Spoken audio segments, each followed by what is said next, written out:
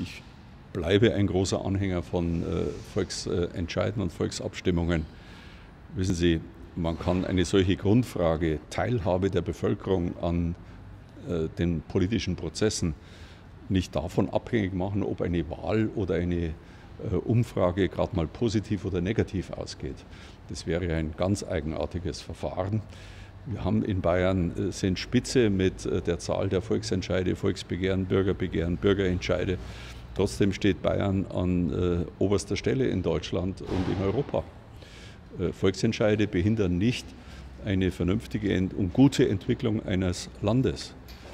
Ich, also da bin ich besonders allergisch, wenn man äh, nach Entscheidungen der Bevölkerung sich vor allem mit äh, der Bevölkerung und ihrer angeblichen Unmündigkeit beschäftigt. Das ist so ein, so ein politisches Steckenpferd. Da ist es dann immer die Bevölkerung schuld und weniger die Politik, über die die Bevölkerung abgestimmt hat.